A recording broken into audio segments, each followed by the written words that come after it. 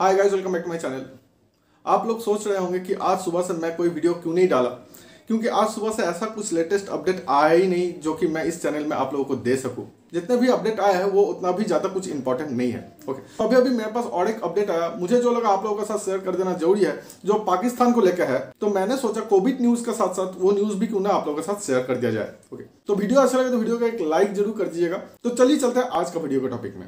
कि Qatar petroleum एक agreement sign किया है पीएसओ के साथ। पीएसओ मतलब पाकिस्तान स्टेट ऑयल कंपनी, जिस एग्रीमेंट के तहत यहाँ पे कहा गया कि अगले आने वाले 10 साल, हर साल 3 एम मतलब 3 million ton per annum liquefied natural gas supply किया जाएगा। तो चलिए देख लेते हैं कि आज का मतलब ट्वेंटी ऑफ़ फेब्रुवरी का कोविड कंडीशन तो यहाँ पे आप लोग स्क्रीन में देख सकते हैं कि आज को टोटल 460 कोरोना का पॉजिटिव केसेस आया है, जिसमें से 423 लोग कतरी नेशनल से है और बाकी के 37 लोग अदर नेशनलिटीज से बिलोंग करते हैं। अगर यहाँ पे डरने वाला बात जो है, यहाँ पे आप लोग देख सकते हैं नीचे लास्ट 24 आवर्स में ओनली 412 रिकवरी केस दर्ज किया गया है, जो कि पॉजिटिव आने वाले काउंटिंग से बहुत कम है।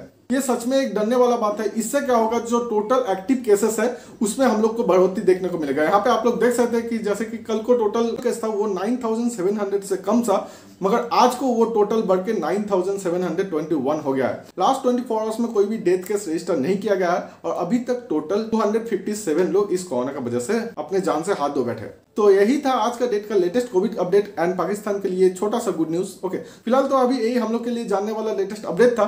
तो वीडियो अगर अच्छा लगे तो वीडियो का एक लाइक ज़रूर कर दीजिएगा। तो चलिए मिलते हैं ऐसे ही कोई नेक्स्ट इन्फॉर्मेटिव वीडियो में। तब तक के लिए टेक केयर स्टे सेफ़